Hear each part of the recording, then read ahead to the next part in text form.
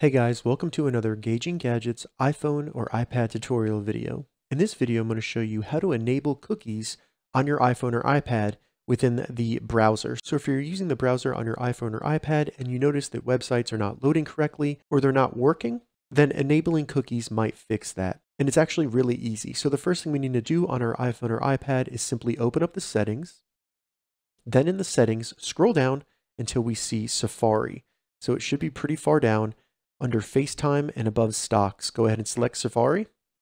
Once you're in the settings for Safari, we need to scroll all the way down to the bottom and you should see privacy and security.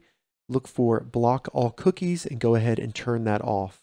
Once you have it toggled off, you can close the settings on your iPhone and then try to access any of the websites that were not working previously. All right, so that's how you enable cookies on your iPhone or iPad. If you have any questions about this, leave a comment below. I'll get back to you as soon as I can. If you'd like to see more iPhone or iPad tutorial videos, check the links in the description. If this video helps you, give it a thumbs up, and please consider subscribing to my channel, Gauging Gadgets, for more gadget reviews and tech tutorials. Thank you so much for watching.